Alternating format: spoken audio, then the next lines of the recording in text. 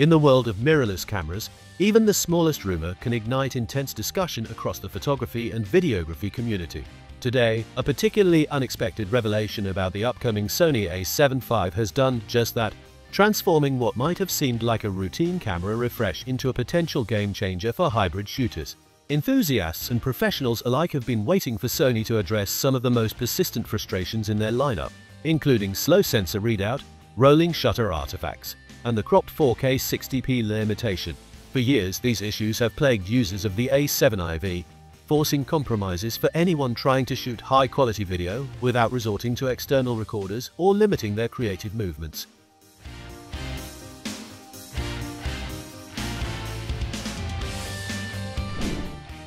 Initially, many of us assumed Sony would play it safe once again. The expectation was a mild refresh, recycling the same 33-megapixel sensor from the A7 IV packaging it in a body similar to the A7RV and adding minimal internal upgrades. It would have been safe, predictable, and, honestly, disappointing. But the newly leaked information paints a completely different picture. The most credible claims suggest that the Sony a7 V will feature a partially stacked 33-megapixel sensor, a development that carries enormous implications for performance. The partially stacked design is noteworthy because it dramatically increases the sensor readout speed. For context, the A7 IV's sensor has a sluggish 26 ms readout, which results in significant rolling shutter distortion, wobbling in fast-moving subjects, and skewed vertical lines during panning. For videographers, this is particularly frustrating, as whip pans or fast-action shots can appear amateurish despite the camera's otherwise excellent capabilities.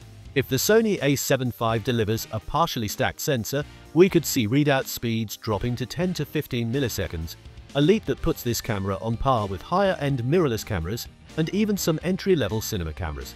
This upgrade alone would make the A7 IV a highly desirable hybrid solution for creators who want uncompromised video performance in a versatile, full-frame package. The faster sensor readout would directly address rolling shutter issues, improve autofocus calculations, and enhanced low-light performance. Combined with an upgraded Bionz XR processor, creators can expect smoother autofocus, better dynamic range, and reliable 4K 60p recording without the APS-C crop limitation that has frustrated hybrid shooters for years. For videographers, this means finally being able to shoot wide-angle cinematic sequences without compromise, a capability that has been sorely missed in the A7 IV era. The upgrade to uncropped 4K 60p alone is a massive selling point, especially for content creators who work with fast-moving subjects travel vlogging, cinematic B-roll, or wedding videography. The way this information surfaced is equally fascinating. According to reports, the leak seems to have been accidental, as if someone with early access casually mentioned the partially stacked sensor during a live stream. The remark immediately shifted the energy of the discussion across Sony's community, with users moving from skepticism to cautious optimism in seconds. The authenticity of this unplanned leak adds credibility. Unlike carefully staged marketing campaigns or clickbait announcements, the casual nature of this revelation suggests it was genuine, not crafted to generate hype artificially. The Sony a7 IV is shaping up to be a significant mid-range hybrid camera upgrade. For photographers, the partially stacked sensor will enhance still image performance through faster readouts, enabling more precise continuous shooting and better autofocus tracking in challenging conditions. For videographers, it represents a long overdue solution to the limitations that have made some hybrid shooters consider switching to rival systems, such as the Panasonic S1 III, S5EX, or Nikon Z6 III. The A7 the 5th of May finally allow creators to stay within the Sony E-mount ecosystem without sacrificing video quality or professional functionality. The leaked details also suggest improvements beyond the sensor itself. Alongside the partially stacked design, the Sony a7 the 5th of May feature upgraded color science, better thermal management, enhanced object tracking autofocus, and a new AI-driven Bionz XR processor. These improvements would make high bit rate internal video recording possible, potentially supporting 10-bit 4. 2. 2 video with higher bit rates, smoother performance during extended shooting sessions, and greater reliability across a variety of shooting scenarios.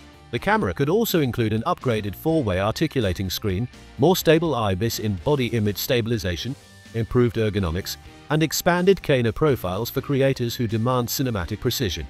One of the more intriguing aspects of this rumor is the apparent deliberate delay of this sensor's release in Sony's lineup.